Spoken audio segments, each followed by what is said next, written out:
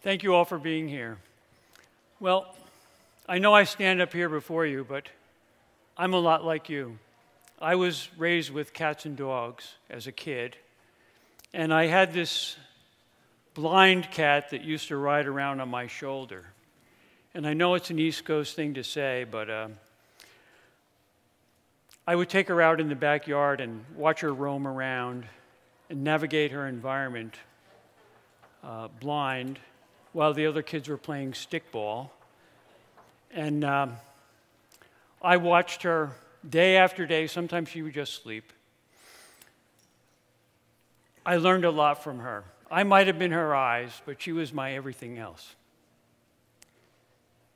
She's never far behind. And I want to tell you about some of the small cats that we're working on now. Okay, this is a tigrina. Well, here are some of the cats we work on. And I know all of you think that we actually get to handle all the cats. That's not so. Um, here's what we do we work with our colleagues all around the world to address the conservation issues associated with these small cats and their disappearing habitats. Here are some of my colleagues, Ashan Thudugala, who was here two years ago, near a street sign that now we're seeing people take selfies of, uh, warning uh, motorists of fishing cats. My colleague Anya Barashkova in Russia, working on Manul.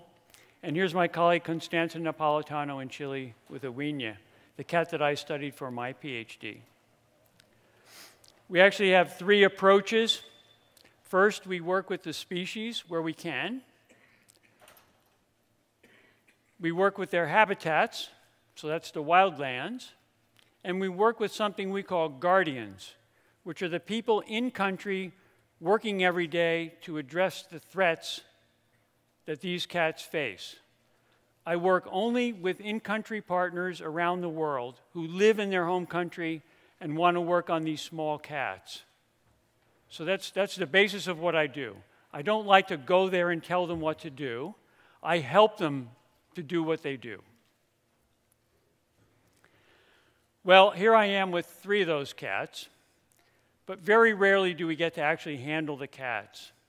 Here's a flat-headed cat from Thailand and a güiña, and the Andean cat that we captured in Bolivia. With wildlands, well, here's a place that illustrates what I'm talking about. This is in the, on the Panama Costa Rica border, and there are six species of wildcats that live here in La Amistad uh, International Park.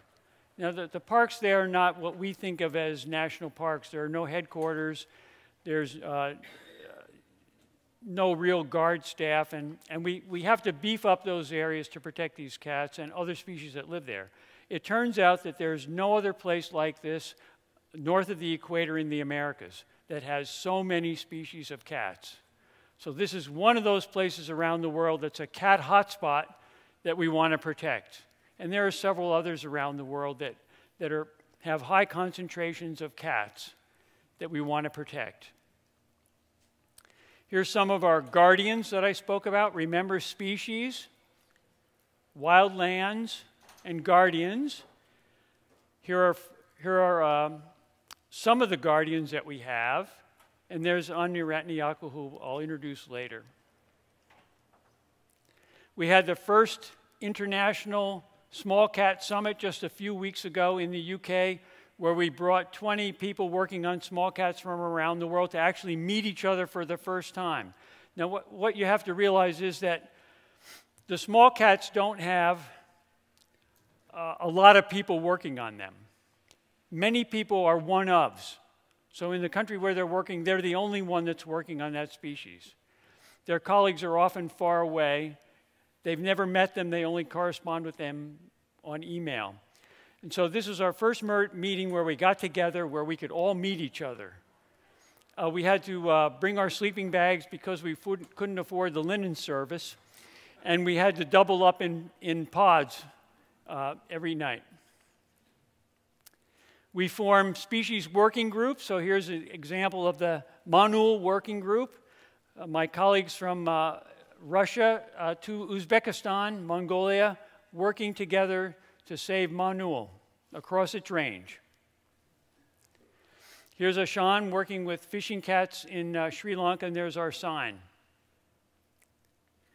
We actually have our own rehab center. Our problem there is that we have road strikes that kill and injure fishing cats. The injured ones we can help, but we needed a place to put them. There's no such place. We had to build our own. So, this is our rehab center, and you can see two happy fishing cats there sitting at the top of the waterfall. Both were males. We were told by my colleague that we shouldn't put two males in the same cage, but we had done that before we, uh, without knowing uh, that they would get along fine. He suggested we should build two nest boxes, one for each male, and you can guess what happened. They both ended up in the same nest box. So we learn something about these cats every day. Here's Alvaro um, working on the pampas cat in, in Peru. He's the only one in the world working on pampas cats. It occurs in, in, uh, in Chile, uh, Bolivia, Argentina, Peru, Brazil, but he's the only one working on it in, in, uh, in it anywhere. He works in Peru. Here's my colleague Anya Barashkova. We're setting some camera traps in Kazakhstan. And here we're just trying to find out well, are there any in this particular area in Kazakhstan because nobody's looked? So she's doing the first studies anywhere in these places where we, are, we have big holes in our knowledge that we don't know if the cat exists at all or not. This is typical uh, habitat that we visited together and set camera traps on the Russia uh, Mo uh, Mongolian border. So this would be prime habitat for Manul. It doesn't look like there are any threats, right? But what you don't see is the, is the herds of goats that people are raising and the, the, um, how the habitat is changing due to grazing. This is the kind of field condition she works in. Uh, the picture on the right is 40 below zero. This is at a temperature when alcohol freezes, and the Manul is out there walking around, and so is Anya. She said that, well, she lives in Siberia. She was raised in Siberia. And she said, We're not the ones with the thickest blood, we're the ones with the warmest clothes. And I, I was there, I, I believe it. When I'm visiting these places, we often do interviews. It turns out that uh, the further I travel, the more important I become. So I'm being asked, I'm being asked questions in Russian. I talk to my colleague Masha there. We talk about the weather, we talk about something. And then she answers the question in Russian, knowing how, how to answer the question. I don't answer the question. She answers the question. But the way we get that interview is I show up. Okay? And we do that all over the world. So we use my visits to the best advantage. Often these young people can't get in to see government, government, important government people that we have to talk to. But if I travel that far, the door is open, and then my colleagues, my young colleagues, can say what they have to say. So I open the door, but they do the talking. Here's Murthy Kantimahanti. He's working on fishing cats in, in India. And again, we reduce the threats. What's the threat and what do we have to do to get rid of it? Okay.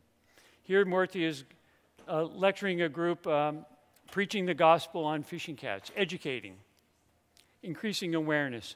Murthy was able to stop an illegal road through a sanctuary uh, by organizing a bunch of conservation groups and then uh, forcing the court to uh, order the road stopped. That's what we do. What's the threat? The road going through a sanctuary. How do we stop it in the courts? Tiasa Adhya, well, she's the only person I know that received an award from the Prime Minister of India. He shook her hand for her conservation work. An amazing achievement when, when you consider that, that the population in India is over a billion people. That she would receive, I, I have never received a handshake from a president, and I don't know many people that have, but she did. And it's all because of her conservation work on behalf of fishing cats in West Bengal. All the time, left and right, raising awareness in the newspaper, on TV. That's what she does. She's, and she's terrific at it. But again, They're one ofs. It's not an organization, it's a person. My task is to find that person and enable them. And that's what my donors help me do. Now, it gives me great pleasure to introduce Anya Ratnayaka, working on fishing cats in Sri Lanka, and I know you're going to find her story fascinating. I'll turn it over to my colleague.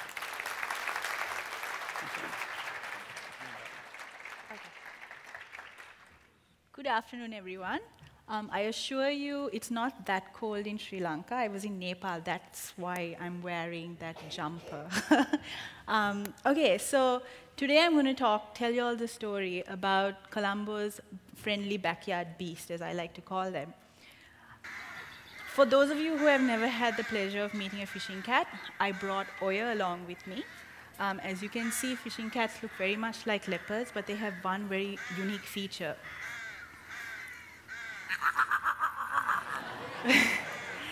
They quack like ducks. So, yeah, so my lovely muscular animal quacks like a duck.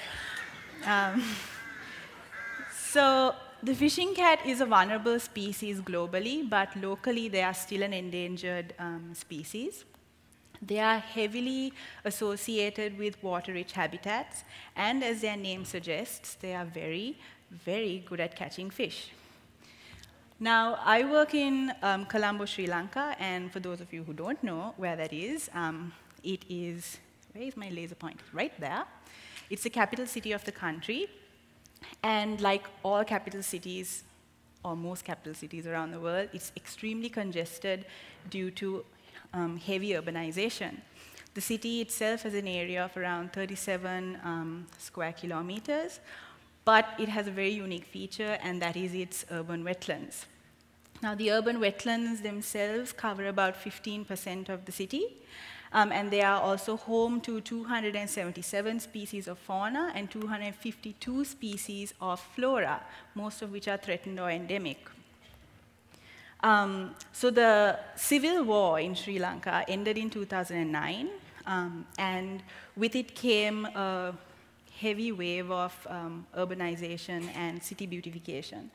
Um, so the government started clearing wetlands. Wetlands at the time were poorly understood habitats, and they obviously were the, on the top of the list of things that needed to go. So this is an example of a wetland that we had. It's uh, called the Bellanwila Attidiya Sanctuary. This photograph is taken in 2012, and this is what it looks like now. So as you can see, there's a very large open body of water which was created for flood control purposes, and there's a lovely little jogging path around it for the residents in the area to do their morning exercise and yoga and whatnot. So in 2012, I ended up, um, I graduated and I came back home, and like most young Sri Lankans, I wanted to work with the leopard. But I heard about these wetlands, and I knew that there were fishing cats in these wetlands. And I wanted to know how this wetland habitat specialist was handling all the wetland destruction. So this is that uh, wetland I showed you previously from ground level. Um, so my team and I and our trusty off-road blue trishaw uh, went around um, Colombo selecting certain wetlands, and we started setting up camera traps. It took us a couple of months to iron out the kinks because, I mean, we were starting brand new. We didn't know what, we didn't really know what we were doing. Um, so it took us a couple of months to get used to everything. Um, and then we started getting our cats. This particular cat's name is Ryujin, and he was notorious for, um, for the lack of a better word, pooping in front of our cameras. And um, after he pooped, he would often smell his creations. He was very proud of them.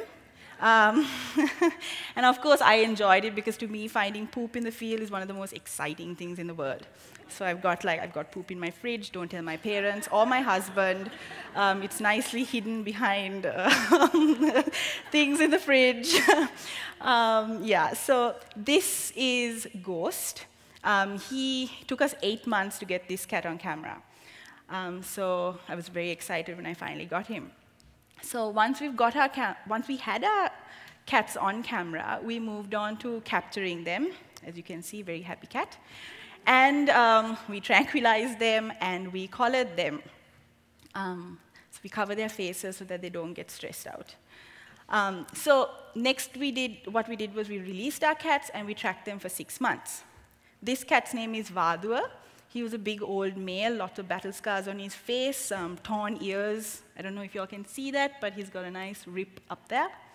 Um, and we tracked, uh, so he was released in the Sri Jayawardhanapura wetland sanctuary. And this is a high security zone um, wetland because the parliament is right there. So there's a lot of security around. This is his movement for six months. Um, he used the wetlands very well. Um, he also moved along the borders of these wetlands. Um, so it was very interesting mo uh, movement data. We had never had this data before, so it was quite unique. And so the next cat, I know I'm not supposed to have favorites. It's like all parents. They always say that they don't have a favorite child, but from experience, I know that they do have a favorite child, and that's my younger brother. Um, um, so my favorite child is this cat, and this is why. So his name is Mizuchi, um, and he was actually found in the middle of the city by accident um, this particular house in a very busy um, part of Colombo, Colombo 5, for any of you all who want to Google it. Um, the landlord had built this outdoor pond and filled this pond with goldfish. And these goldfish at the time were about $2 or hmm, maybe $3. Goldfish started going missing. Nobody cared. It's $3, not that much. Then he graduated to Japanese koi. I don't know how many fish connoisseurs are here, but Japanese koi can go to about $100 a fish. These fish started going missing, and of course, alarm bells rang in his head, so he set up security cameras to catch the culprit. This is the culprit. um, he's a gorgeous one and a half year old cat. Um, we have three months of footage of him catching fish. Um, we have some footage of him just sitting in the pond like a child in a kiddie pool and just turning around in circles because he's trying to catch these fish. Um, and he's not the only one. There was another one that walked out of um, view when he comes down the wall. he's very patient. He's a lovely boy.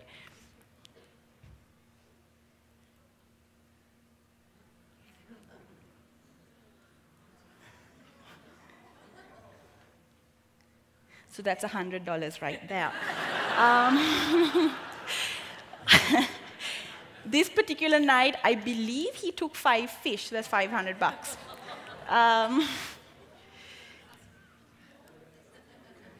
luckily for us, the landlord loved cats. So that worked in our favor. Um, so we collared Mizuchi, and um, this is his home range, or rather, this is where he was found. This is his area. He was found up there. Um, and as you can see, there's no wetland anywhere. His movement pattern looked like this. Up here is an abandoned house. That was his kind of hub. Um, it was very stinky. Fishing cats smell really bad.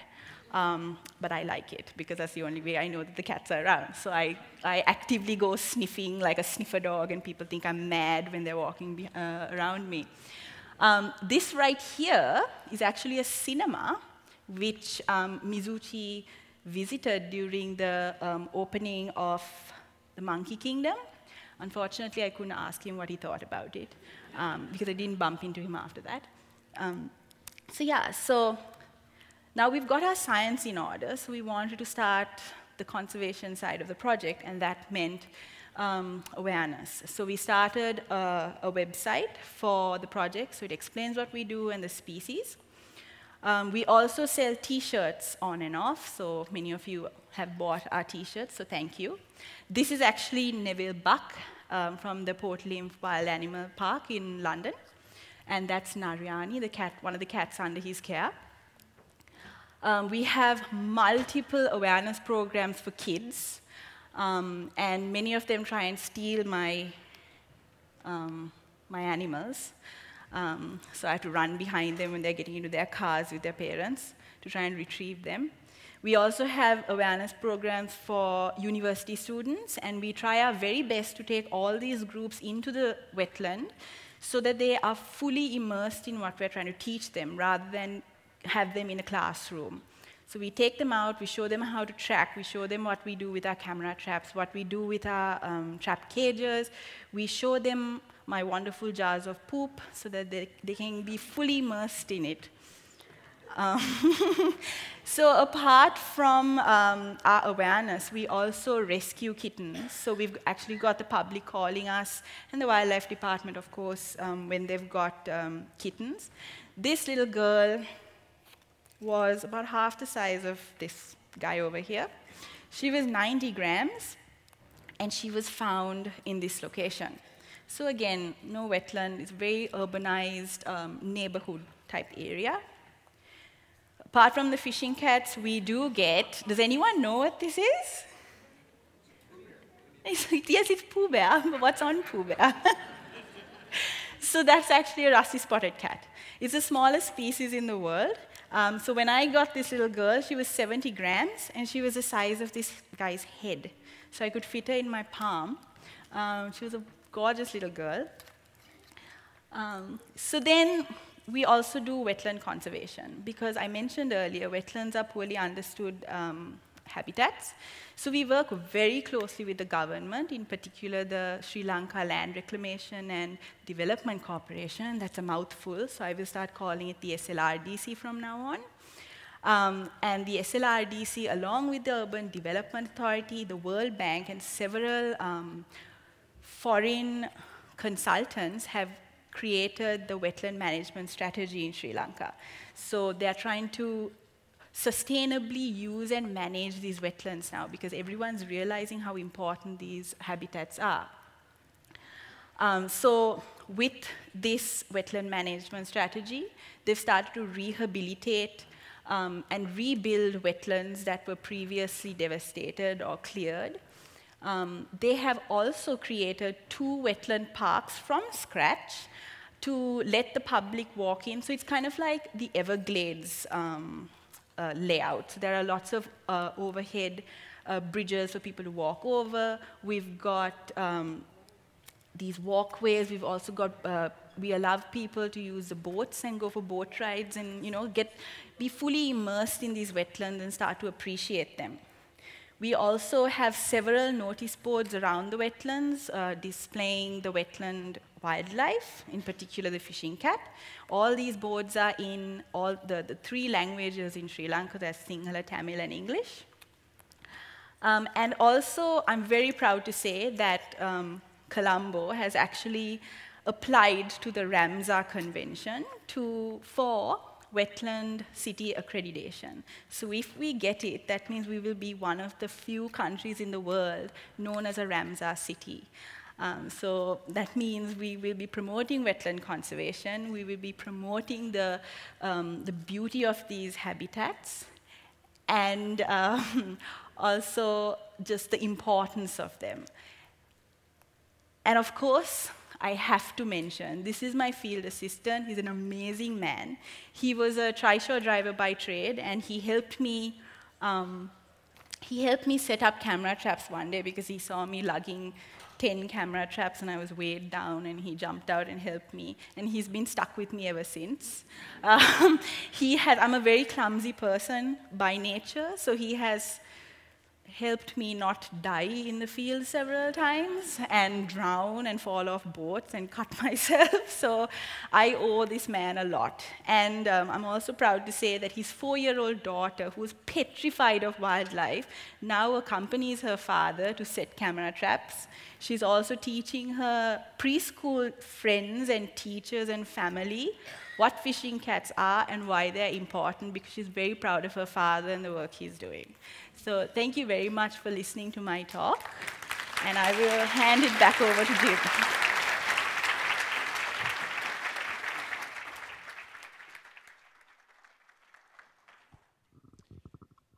These are some of the other cats we're working with. Um, these particular two, Bay cat and flat-headed cat, need much more work. They're in Southeast Asia. You all know what's happening in Southeast Asia.